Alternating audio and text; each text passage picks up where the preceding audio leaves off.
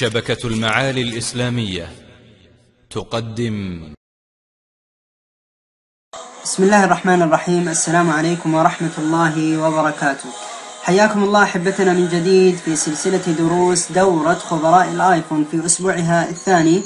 وفي هذا الدرس السابع سنتحدث عن طريقة إنشاء حساب مجاني في ال iTunes Store أو متجر ال iTunes أولا نحدد نوع الحساب. ننزل إلى آخر الصفحة. وهنا في آه، الركن الأيمن من الصفحة نحدد الدولة أو آه، التي نريد إنشاء الحساب من خلالها. لدينا جميع الدول طبعا تظهر هنا. نذهب إلى مثلا لنقل الحساب السعودي كمثال. نختار الدولة. وللتأكد من اختيارنا نجد علم الدولة في نفس المكان. لعمل لعمل حساب مجاني يتطلب أولا الدخول على أي تطبيق مجاني ولنقل المصحف كمثال.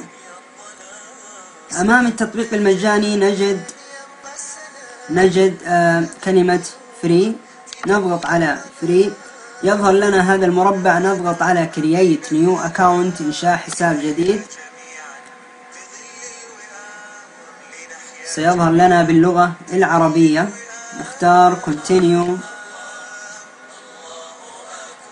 الخطوات سهلة وموضحة أيضا. هذه الاتفاقية والشروط. نقرأها ثم نضغط على قرأت وأوافق على هذه الشروط والأحكام. ونضغط continue الآن نضغط أو آه، نكتب الإيميل الخاص بنا. ونختار كلمة مرور. كلمة المرور يجب أن تكون كالتالي وأنا راح أكتبها هنا عشان تكون واضحة. أولا حرف capital ثانيا حرف سمول ثالثا أربعة أو عفوا ستة أرقام. بذلك تكون لدينا كلمة المرور مكونة من ثمانية أحرف وأرقام. حرف capital وحرف small وأرقام.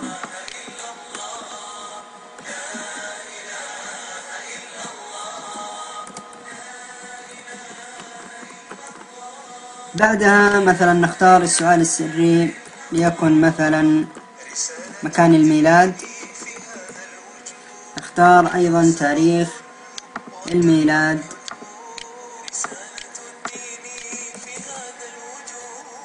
بعدها آه، نضغط على continue.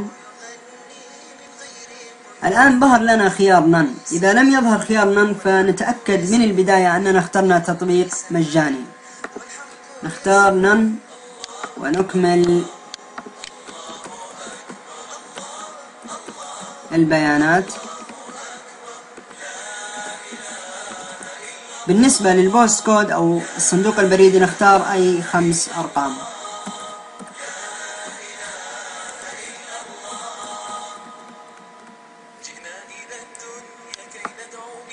الآن يؤكد لنا هنا لا نستطيع طبعا تغيير الدولة فيجب أن يتم اختيار الدولة قبل أن قبل البدء في الخطوات. نضغط على continue. والآن تم إنشاء الحساب وستصلنا رسالة. على آه، البريد الإلكتروني. نشوف الرسالة. هذه الرسالة الآن ظهرت لدينا.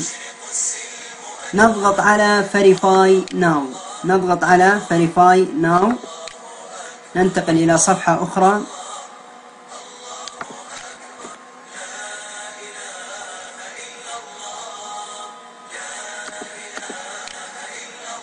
طبعا رأينا قبل قليل ظهور آه، رسالة خطأ لكن بعد تحديث الصفحة ذهبت الرسالة. نكتب الابل اي دي اللي هو نفس البريد وكلمة السر. بعد الضغط على فيريفاي أدرس نجد أنه تم إنشاء الحساب الآن وللتأكد وللتأكد من ذلك. نجرب طبعا تحميل أي برنامج مجاني ولنقل المصحف. كمثال نضغط على المصحف.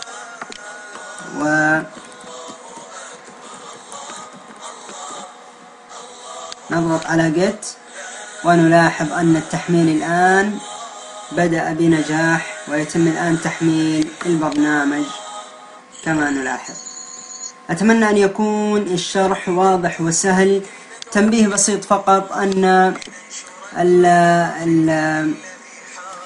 المعلومات أو البيانات التي نحتاجها للتسجيل تختلف من دولة لأخرى.